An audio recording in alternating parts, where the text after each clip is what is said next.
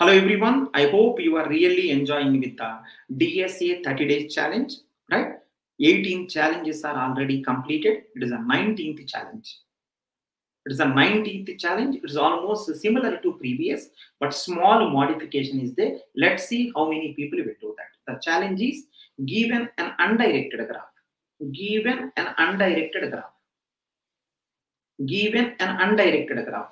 The task is to check if there is a cycle in the given graph. Previously directed graph, now it is an undirected graph. In the given undirected graph, how to check cycle exists or not. Almost similar because of lack of direction. Some problems are coming. Can you please do this? Try honestly. Small doubt also there ask in the comment section. It is going to be going to be one of one of the excellent problem using DFT you can do. Using BFT also because of same time. You no need to bother that much. DFT is going to be much easier than the BFT. You can go ahead this. This is one of the famous problem of computer science. Like previous problem, this also. Can you try this? In the next class, I will give the answer for this and I will give one more challenge also. Wish you all the best. See you in the next class.